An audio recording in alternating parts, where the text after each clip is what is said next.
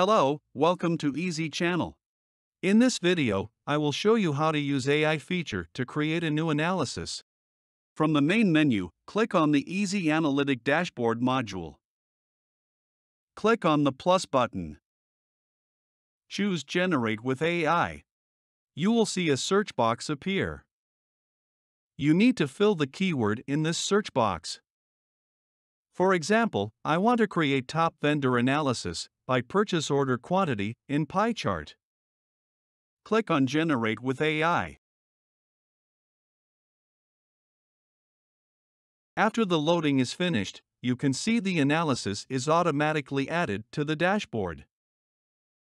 You can always change the visual of the analysis by clicking Open Analysis. Click on Visual tab and change the visual. Now, I already show you how to use AI feature to create a new analysis. Go try it out on our website demo.iziapp.id. Thank you and have a nice day.